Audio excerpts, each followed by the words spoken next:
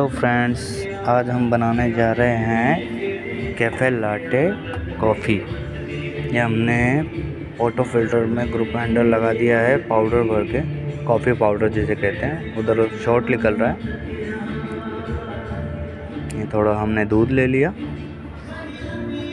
दूध लेके इसको अब फ्रोथिंग करेंगे।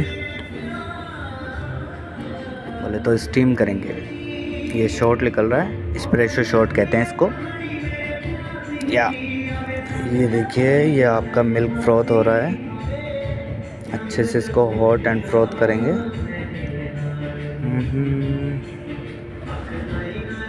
ये आपका हॉट हो गया है मिल्क फ्रोथ हो गया है, बेहतरीन। शॉट भी निकल के रेडी हो चुका है। ये मिल्क को थोड़ा सा टम करना है।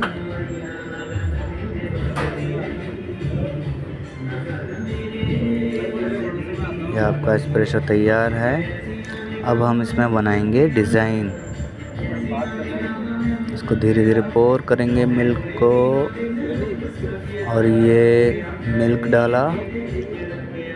ये थोड़ा जिगलिंग करा। और ये स्लोली से। और ये बन गया हमारा बतख का art thank you very much friends subscribe my channel please